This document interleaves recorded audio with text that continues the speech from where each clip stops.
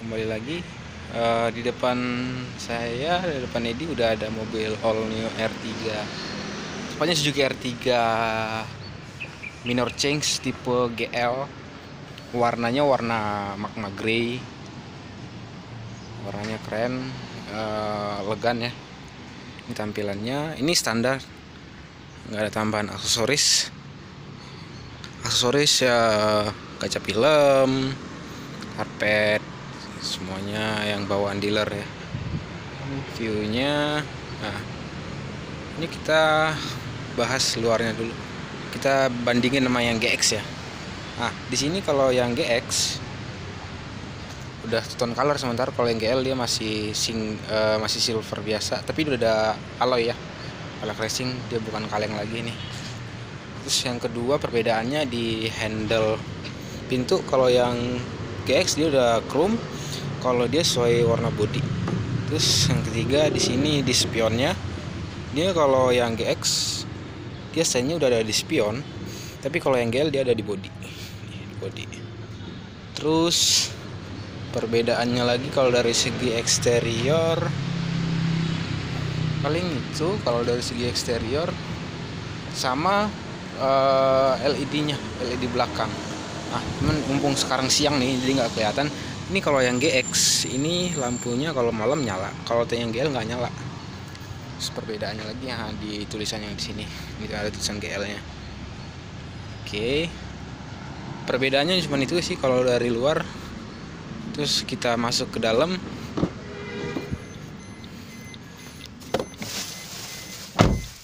Kita lihat perbedaannya.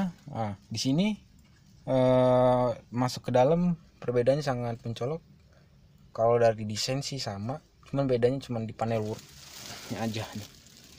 Kalau yang GL dia masih biasa ya. Eh, plastik dashboardnya ini dia nggak panel wood kalau yang GX kan dia udah panel wood kayu ya. Terus di sini juga nih.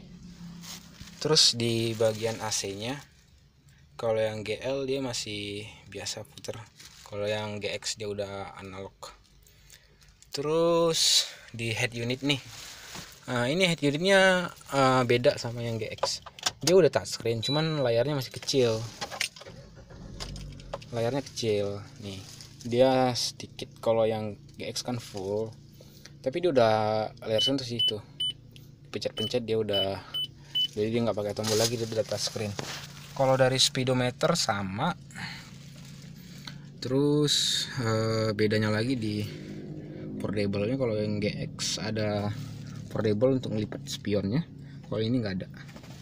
Kalau ini semuanya terus di sini ini dia belum ada pendingin cup holdernya ya kalau yang GL kalau yang GX sudah ada. Oke perbedaannya itu perbedaan yang mencolok cuman itu sih udah nggak ada lagi. Eh, paling kita lihat mesinnya. Kalau mesin sama aja cuman ke cara pembuka mesinnya dari sini di bawah sini.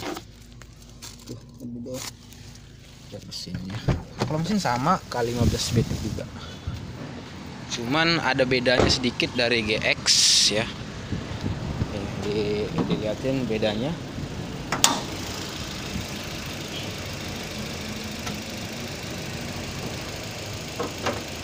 Nah kalau yang GX dia udah ada udah dapat peredam.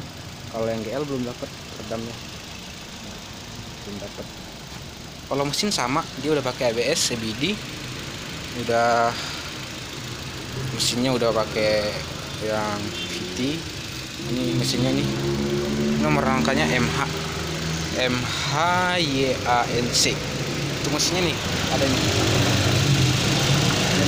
Kali 15 BT ya. Oke nih. Tampilannya nih. Untuk mesinnya tampilan mesinnya. Viewnya.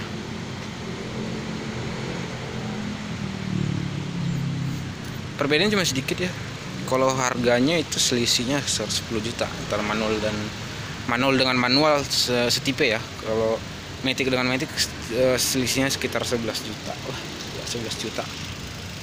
Oke, kita lihat lagi